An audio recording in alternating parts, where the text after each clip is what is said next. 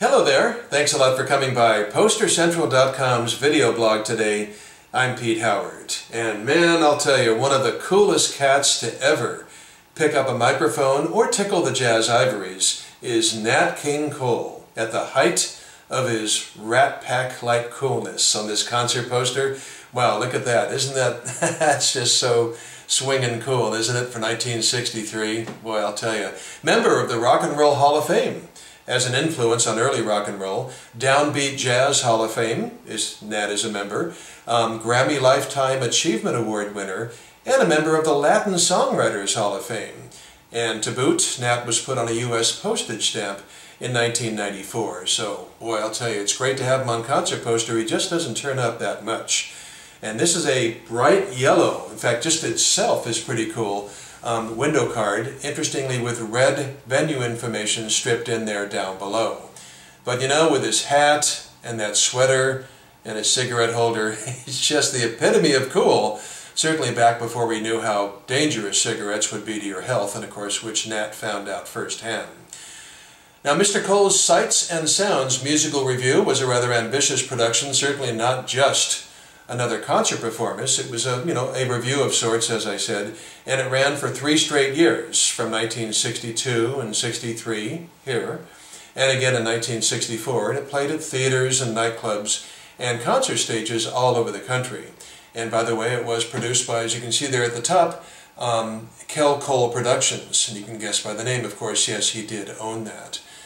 Now, the opening acts, as given on the poster, included but not limited to new comedy sensation Pete Barbutti and the Merry Young Souls, getting closer, and Joe Zito's 19-piece orchestra. Mm -hmm.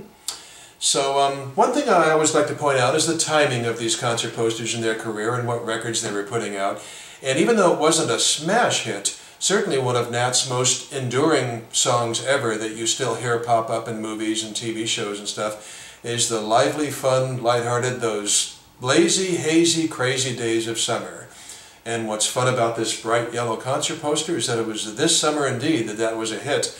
Um, it was actually a national top 10 hit. I shouldn't have said it wasn't much of a hit. It just didn't get the number one, but it was, it was top 10, and it was his last one of his career. So this particular show, as you can see down below, is from the Capitol Theater in Williamsport, Pennsylvania. It does say Tuesday, October 8th at 8 p.m. And ticket prices are given for Orc, Loge, and Balcony. Orc, or Orch, short of course for orchestra.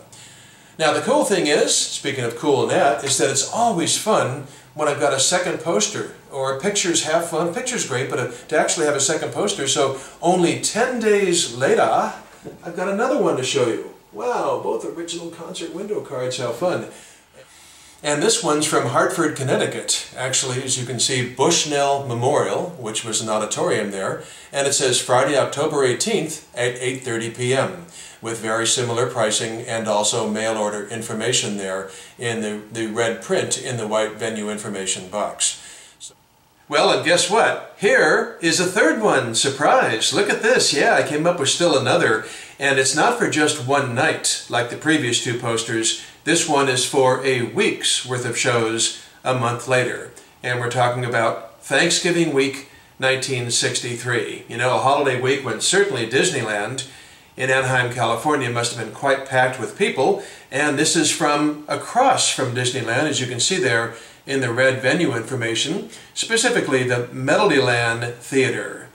And it does say, as you can see, one week only, Tuesday, November 26th through Sunday, December 1st.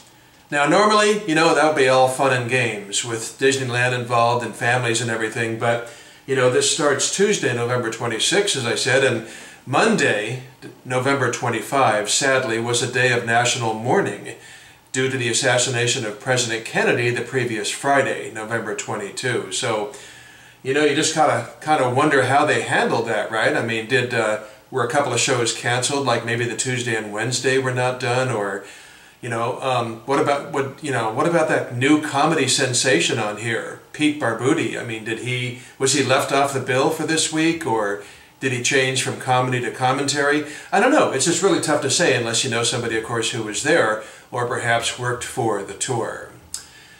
Now interestingly, the previous two posters I showed you had no printer's credit at the bottom, and uh, you just sort of knew from this red block printing that it was the Murray Poster Printing Company out of New York. But sure enough, you get to see enough of these, and there it is. In the lower right-hand corner, it does say Murray Poster Printing Company in New York. So that's a, you know, makes it for sure, although I was sure before too. Boy, Nat King Cole, you know, a little over a year before we lost this wonderful man to cancer. But uh, while he was alive, he made great music that lives on nicely to this day. Three fun concert posters. Nice to see a tour blank in action like this. And uh, thanks a lot for coming by. We'll see you next time for something soon. Bye-bye.